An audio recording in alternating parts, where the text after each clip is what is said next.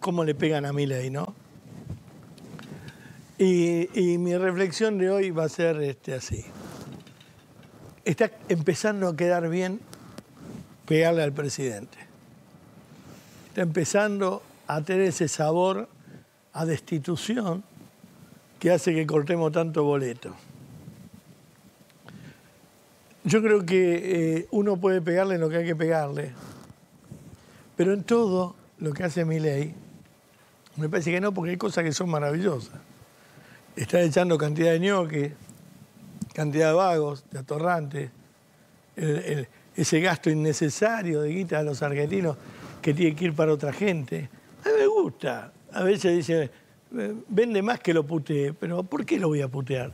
Si a mí me gusta. No me gustan sus formas, me parece muy violento, horriblemente violento. Me parece que un presidente tiene que tener otro prestigio.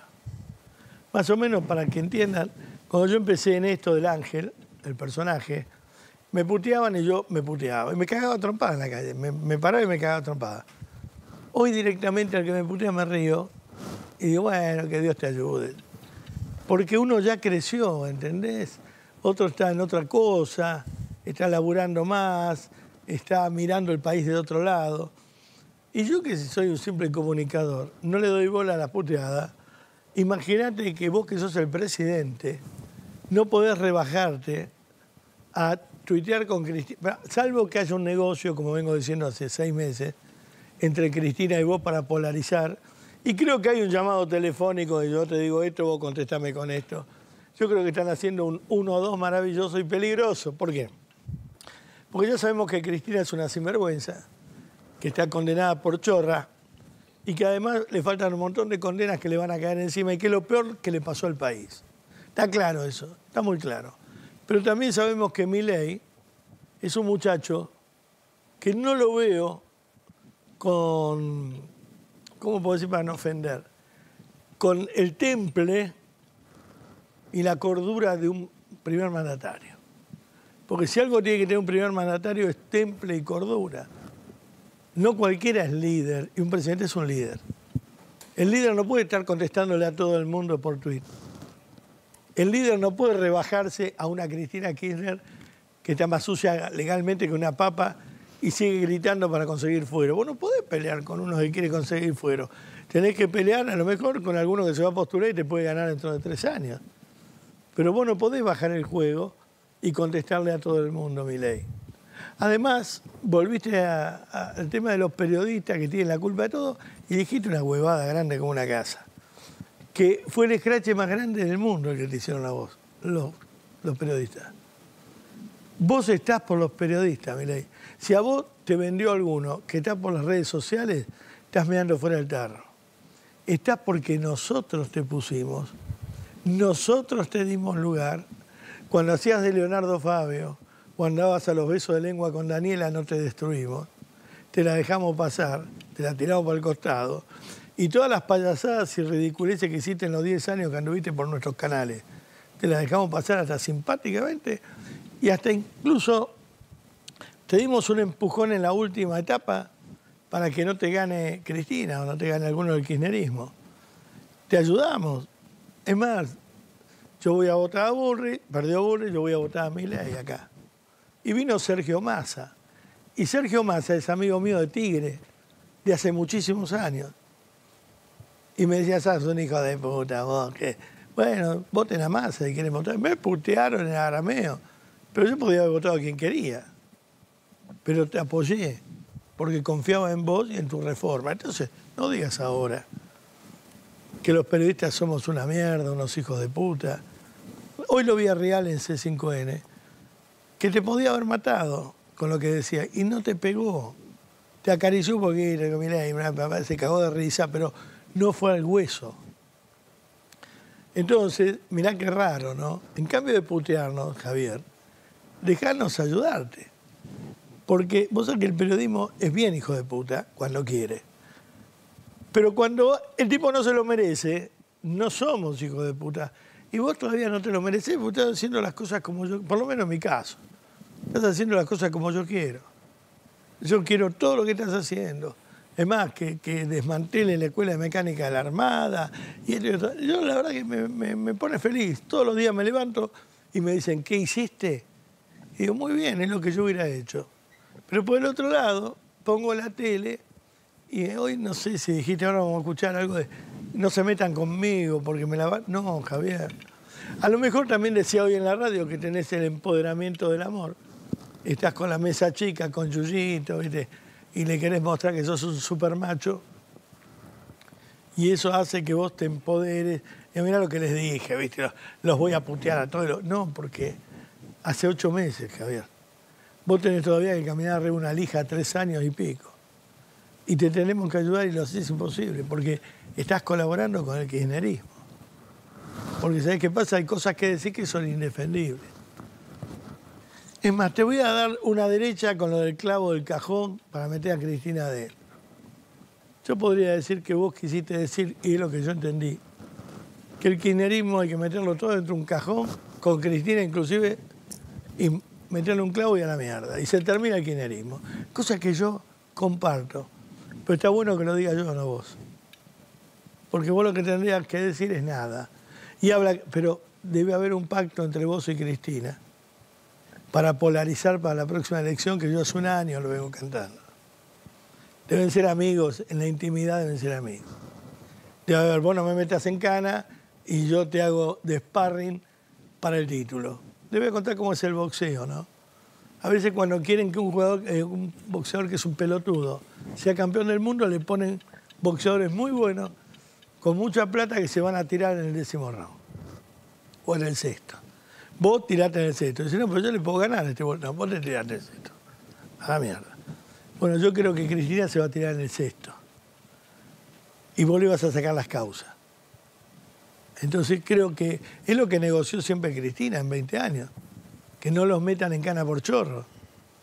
En negoció a Vudú, negoció a, a todos los negocios. Entonces decime si la libertad avanza de verdad o avanza para la gilada. Porque a veces me siento con este gobierno como esas gallinas, ¿viste? Que hay gallinas que uno le conoce el nombre, pone huevito, ¿viste? Carola. Hoy puso el huevito Carolita. Y, y hay otras gallinas que son para el matadero, que no les conoces nada. No te encariñás porque la van a matar y le tirás así maíz y a la mierda. Yo creo que hay ciudadanos que somos para tirarle maíz y a la mierda porque somos para el matadero. Y hay algunos ciudadanos que son para que te ponga el huevito, ¿viste? Carolita. Entonces creo que eh, así me siento a veces como ciudadano. Como, como los pollos Lego, ¿viste? Que están en la jaula y sacan la cabeza y lo único que hacen es comer todo el día para engordar rápido y se los coman. Y así me siento, así me siento. Por eso, mi estimado Javier, del fin de semana, la barrida periodística que vino, lo único que me queda de todo lo que dijiste fueron agresiones, insultos, maldiciones, este, y otra cosa es Ginés González García. Yo no lo quiero, no lo quise a Ginés González García. Y lo he puteado con las vacunas hasta en arameo. Es más, lo he puteado cuando se fue con el de Pfizer a España a reunirse en secreto. Olvídate. Y que fue un corrupto, no me cabe duda, pero está muerto. Y yo creo que el límite de una persona es cuando cierra los ojos. Y no es que uno lo ve bueno después de muerto, no. Uno después de muerto ya no lo ve porque está muerto. Entonces, pegarle a un muerto, acojonarse con un muerto me parece... Ahora, lo mismo que vos dijiste ahora, lo dije yo cuando él estaba vivo al aire. Pero ahora está muerto. Entonces tenemos que, le pegamos a un muerto. Tenemos que, a la oposición la metemos en un cajón y metemos un clavo, cuando en realidad le vas a dejar un agujero para que respire. ¿O no? Tenemos que, todos los periodistas son unos hijos de puta, menos Pablo Dugan que pidió disculpas. O sea, lo tiraste bajo un tren a Pablo Dugan, que era lo último, la, la última gota de dignidad que le quedaba, se la acabas de fumar. Yo no me considero un hijo de puta. Yo me considero un buen periodista, excelente, muy bueno. Como La Nata, Campolongo. No los nombro a ustedes que son jóvenes todavía, pero hablo de los que hemos hecho la epopeya de voltear la dictadura kirchnerista para que vos puedas. Después, ¿quién te compara con Hitler? es verdad, hay uno que te compara con Hitler, hacele juicio. Pero no te comparamos con Hitler. Es más, ni te comparamos. eso sí, si vos seguís así y te cebas, porque ese es otro problema. Cuando los muchachos se ceban, ¿no? Porque les, les cae bien la boludez, la puteada, el forrear al otro, lo hizo Néstor Kirchner. ¿Qué te pasa, Clarín? ¿Estás nervioso? ¿Viste? Uno de Néstor Kirchner no se acuerda nada bueno. Se acuerda, Clarín, está nervioso? De, Moreno, ¿qué te acordás? Los guantes de box para pegarle a Manieto. Y de vos no vas a acordar de estas cosas. ¿Entendés? Porque de ahí no volvés. Y además baja tu precio cuando contestás. El insulto te hace bajar el precio. Por eso yo no soy quien para aconsejarte. Me parece estupendo todo lo que haces. Seguí así. Me pongo a disposición y te juro que si en algún momento te hace falta, voy a ser el primero en ir a defenderte a Plaza de Mayo. Yo soy presidencialista, pero yo no soy una mierda. Ni tampoco ninguno de los periodistas que conozco, ni los de la oposición, hicieron un pacto para voltearte todavía.